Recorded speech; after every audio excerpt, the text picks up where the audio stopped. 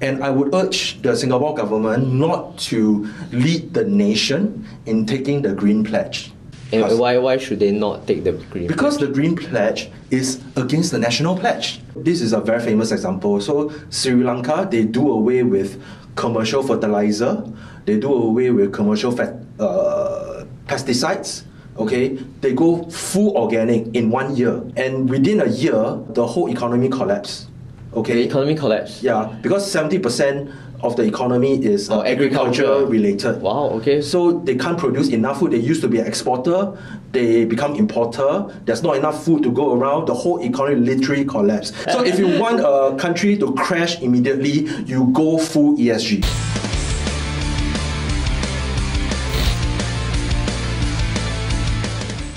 Hey guys, and welcome to yet another episode of the Singaplex After Hours podcast. And today we have someone very interesting in our midst today. He calls himself Fearless Wing Chun. Yes, uh, and I'm starting the uh, energy humanist movement against environmentalism. So that's uh, some pretty strong words, uh, Fearless Wing Chun. What exactly is a energy humanist? That uh, that's what you call yourself, right? And and so what, what is this whole movement about? We recognize, or I recognize, in order for humanity to do well, to progress well, if we're interested in human uh, progress, we need cheap, reliable, and plentiful forms of energy, and that comes in a form of fossil fuels. Really? That But- comes in a form of fossil fuels. But isn't the like the mainstream narrative now that the whole world is moving towards uh, electric power? We're going to have Tesla cars, flying vehicles, and things like that. so you, you mean renewables? Yeah, renewables. So renewables over the last 30 years, the technology has uh, improved okay. compared to itself, but comparatively with fossil fuels, there's no comparison. Fossil fuels is There's no still comparison. No comparison. It's still the most efficient form of energy.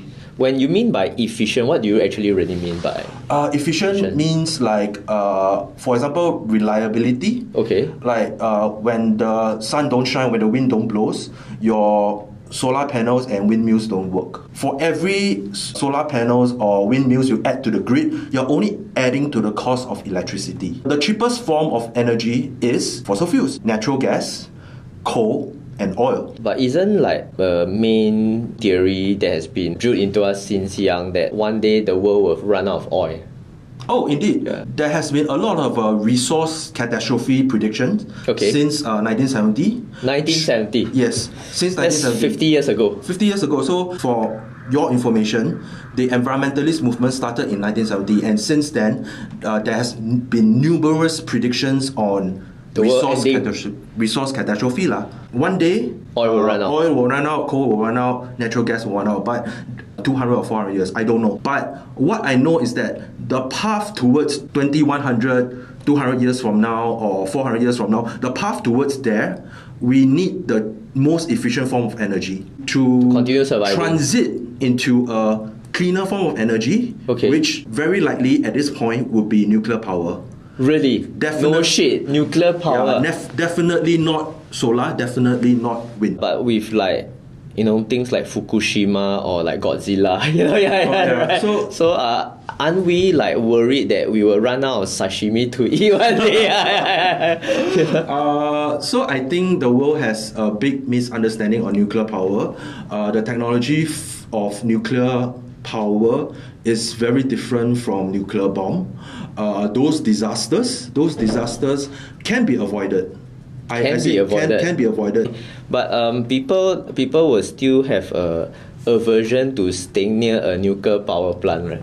Yeah, so so it's a process, and and I'm not saying that we should change to nuclear po- power immediately Overnight. next year. Okay. Or five years or ten years. Uh, for countries to go into nuclear, uh, there's a steep learning curve. Let, Steep learning curve. Let me put it to you this way. But uh, while on our way there, we should use cheap form of energy that comes in the form of fossil fuels, so that they can get their prosperity fast. You're, you're saying that um, societies or countries should still leverage on the cheap uh, option of fossil fuels so that they can grow their economies to a point whereby it makes it feasible for them, For to, them to transit to nuclear. transit to nuclear or any other form of energy. Yes. And why why should they not take the green? Because the Green Pledge is against the national pledge. So why are countries taking the green pledge if it's against their Well, national it's- interest? It's, it's- because of uh, optics or PR. It's optics, it's PR, and and the main thing is that they don't realize the ideology at play. We've crossed the eight billion population line, right? Mhm. So out of these eight billion people, uh, three billion of them use less electricity than a refrigerator. Yeah, Uh, but the human person per yeah, person per person uses less Electricity. than a refrigerator than a refrigerator every month. every month. Yeah, they use less electricity than a refrigerator. So three billion of them. Guys, if you really want to stop climate change, go back and kill your refrigerator. no more ice cubes and ice cream for you. No, but but the point is that Your bak kwa will rot. no, no, I I mean the point is that we should appreciate that Yeah. we We have technology. Our lives is being elevated by cheap energy. Our lives is being made prosperous Due to due to cheap fossil fuels. You tell an environment this good news, they are, they are very unhappy. They're very Yeah, unhappy. Yeah, that's that, that's the easiest way, right? That's the litmus test, right? Uh, this person pro-human or not? You tell them a good piece of good news, lah. Then they get upset. They, they cringe, lah. Yeah. they cringe, they cringe. right? Yeah, yeah. so what, what can I say? Doomsday messaging has gotten uh, too loud. Yes, too loud. And- it has always been there. and he has uh, evolved into this uh, new uh, mental health issue called uh, you're saying uh, climate, climate anxiety. climate anxiety. So do you think uh, cutting down on toilet paper by using water to wash our asses will save Mother Earth? no. No. yeah. So yeah, toilet paper is okay, guys. toilet paper has passed the, the test here. Where was your starting point where you realized that you were very interested in being a, a energy uh, humanist? I didn't come up with the term myself. Hmm. Uh, Alex Epstein did it. So he, he called Who's Alex Epstein? For, for people who don't know, not not Jeffrey Epstein. uh, They only off Yeah. himself. Yeah. So he's a he's a person who wrote this book called the his first book was called The Moral Case for Fossil Fuels. The moral case for fossil yeah, fuels. The Moral Case for Fossil Fuels, Okay. and this logo is is is his design. Uh, his second book is called uh, Fossil Future. Fossil future. Yeah, so how the use of fossil fuel would lead us to a good future, A better future. a better future. Uh, of course, I'm I'm also inspired by uh, Bjorn Lomborg. He wrote this book called False Alarm. False alarm. Yeah, false alarm. F A L S E. False alarm. Yeah, and, and there's a few other books. Um, uh, Zubrin, who wrote this book called Merchant of Despair. Merchant of Despair. That's the book that convinced me that uh, environmentalism is anti-human. So uh, this Robert Zubrin, he wrote, he called the environmentalists merchants of despair. They are selling despair. Selling despair. So he tracked he tracked the um, environmentalist movement from 70s until now. He tracked all the arguments. A layman, I'm, I'm, I'm, not, I'm, I'm not a scientist, a layman who spends a bit of time reading and then slowly uh, analyzing and all this, you, you can get this, you, you can know this, you can open your own eyes, you know, and all that. What is ESG actually, and why why has this become a, a mainstay in the?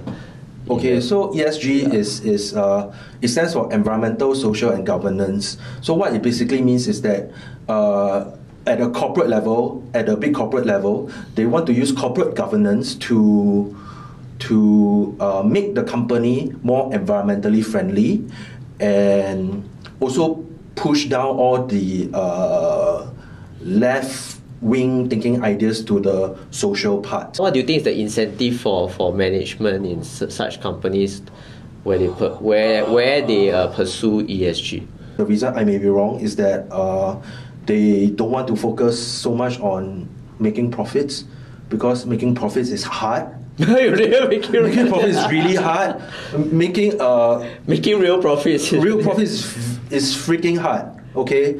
Um, so if you focus on something else and you, you So, want so, to be so, nice, so you say ESG is like the smoke bomb. Yes, they, ESG they is like to distract from the real thing, it- yes, the real pursuit of, of what the company. yes the doing. The priority of the company is to make profits. So ESG is just a corporate smoke screen. and ESG at the at the country level, this is a very famous example. So Sri Lanka, they do away with commercial fertilizer, they do away with commercial fat, uh, pesticides. Okay, they go full organic in one year, and the ESG one score, year? yeah, Wow. in ESG score shoot up. So so they, they, they got the, the nice looking metrics of ESG going. Yeah, so it shoot up to almost perfect, 98.1% ESG score. And within a year, uh, the whole economy collapsed. The Okay? economy collapsed. Yeah, because 70% of the economy is uh, Oh, agriculture. agriculture related. Wow, okay. So they can't produce enough food. They used to be an exporter, they become importer. There's not enough food to go around. The whole economy literally collapsed. You cannot blame uh, the, the government corruption for this because if, if you want government corruption, right, government corruption won't, won't make a country crash within one year, one, uh, right? If, if you look at Malaysia, it's been around for what, uh, 30 years. It's, it's, it's still corruption, but it's a slow decline, right? But if you want. uh, Dangerous, dangerous commentary. so if you want a country to crash immediately, you go full ESG. so you say ESG is people uh, going full retard. Yeah. Yeah, yeah, yeah. yeah. So, no, I mean, So- I mean the, the Sri Lanka example is, uh, uh, you guys can look it up. Uh, it, it's a very famous example of how Of- ESG gone wrong. ESG gone wrong. Yeah. So so with ESG going so wrong, why is there uh, still such a push? Because I, I mean I, I I'm not like a big time investor, but I look at some of my investment apps, right? They say that now uh, they're pushing something. Now I see a lot of like ESG buzzwords in all these apps, right? What's going on? Uh, uh, I, I, I don't know why, but uh, I, I, I I won't take into account those ESG ratings or what, because I know that uh, our political leaders f- flies to climate conferences, and the last climate conference you have 800 planes landing on that climate conference. So uh, somehow they are, them flying is more important than me, so, so I don't care about all this. yeah. So it's, it's, it's rank hypocrisy, right? Be- just because they slap a label on themselves to say that they are saving the world, they can they, they, they can do the carbon emissions, but you cannot to to, to go for a holiday. Because the peasants can't. Uh, the peasants can't. So so this is this is really the social disparity. lah. Ah, so so you're, you're more you're actually as a um, energy humanist uh, this uh, the so-called like classist um, uh, uh, uh, categorization of uh, who deserves to be an environmentalist and who Yeah. deserves to be shamed is, is what you're really against. Yes, exactly, exactly. Uh, there is the scientist, Mm. there is the politician, there is the media. So, in this uh, game of telephone, so uh, something that's not so It's like pass the message down. So as, Yeah. as the message gets passed down, it gets more distorted and get more dis- exaggerated. exaggerated. Or, or would you say the message has been sensationalized? Of course, of course. It has. I mean, that's the bread and butter of media, right? Yeah. so then we have we have all been uh, sold a, a, a new uh, doomsday message to to to subscribe to. If you think about the mental health, uh, it's tiring. It's tiring. If you if you look at all this uh, catastrophic uh, news, I would say it's very tiring. This is why. So, so you're, you're saying it's affecting the human psyche to be bombarded by all these doomsday messages. Yes, yes, and this uh, latest uh, mental condition called uh, climate anxiety. Climate anxiety, that's Yeah, such yeah. a that's such a condition. Yeah. Uh, the, the young people they are very anxious that the world is coming to an end And so, they will change throw all the plastic at home into paper. No, I, I don't know. So so they seek help. So so they go to their string, they go to their therapist Yeah, and say that, oh, I'm, I'm suffering from climate anxiety. You know. So you oh so you're saying that um this uh climate alarmists the trickle down effect in the media and the, all the doomsday messaging has resulted in uh worse mental health. worse mental health or especially in young people. Yeah. Don't suppress that, that independent voice inside you and spend a bit of time uh, looking into this. To I form can- a personal opinion. I, and, and I can share with you my resources. Just don't go along with The uh, flow. Uh, what the media is telling you about climate catastrophe only for this thing or only for this subject. So uh, and and the, the point I want to come back is that independent thinking requires courage. It, Mm. it requires a bit of courage. So I am I am I hopefully that I'm leading this uh, small movement in Singapore to to tell people that it's safe to think independently, to, to go against to, to, go- to go against the flow, and and I can do a bit of research to to substantiate Mm. my narrative or whatever it is against the popular narrative. Yeah, so I, I feel that um, besides this whole uh, you know debate on, on both sides of the spectrum regarding uh, climate change, uh, green movement, so on and so forth, there are many uh, stakeholders and actors uh, across both sides, right? So so would you say that actually the main issue now in the media is that um, uh, it is always uh, overly slanted to one side? Uh, yes, yeah, yes. such that uh, people uh, develop this uh, sort sort of uh, which is ironic, right? Because in, in a world where supposedly uh, information is uh, more abundant Mm-hmm. and accessible than ever, there seems to be a, a growing trend towards uh, fashionable thinking. Oh yes, and f- fashionable thinking is, is, is very dangerous. It's, it's not thinking. It's just it's just conformity, right? There's no Fashionable thinking is is just conformity. It's just conformity, right? It's like you slap an ESG label on yourself, or you slap a sustainability label on yourself, and I, and I think that's dangerous because the mind does not grow. The the the only place where the mind grows is when it's challenged. In the future, everyone will be Will will live longer. Will Live live, longer. live better lives. That that's my view of, of where the world is heading. Oh, so you feel that humanity is actually, despite all the doom porn out there, humanity is actually moving towards a brighter future. Yes, exactly. And you have to recognize that all this ism, all this ideology has practical consequences on your life. So you're saying that people should not just treat whatever view they're having on the internet as a trend to express, but rather that particular philosophy actually impacts their real life offline, Yeah, how it plays out. how it plays out in the real world, In the real reality. world. Yeah, you, you, you should do an Excel table on, on, on ideologies. Excel table ideologies, right? With that, we thank Fearless Wing Chun for his time here and sharing a very interesting take on uh, energy humanism right here on the Singaplex After Hours podcast. Till next time, see you. Like and subscribe.